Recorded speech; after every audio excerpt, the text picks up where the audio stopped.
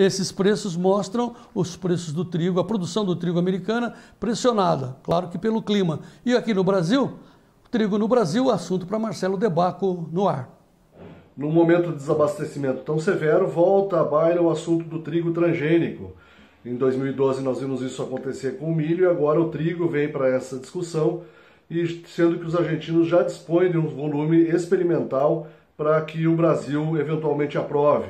Também a situação cambial mundial e o retorno do feriado chinês do Dia do Trabalho repercutem na demanda. Podemos ver o mercado com viés altista, mas as notícias de plantio americano evoluindo, a evolução do plantio tanto do trigo de primavera quanto das outras safras, pode fazer o mercado operar tecnicamente na direção das baixas. Forte abraço, fique conosco. Muito bem, vamos juntos, Marcelo Debaco.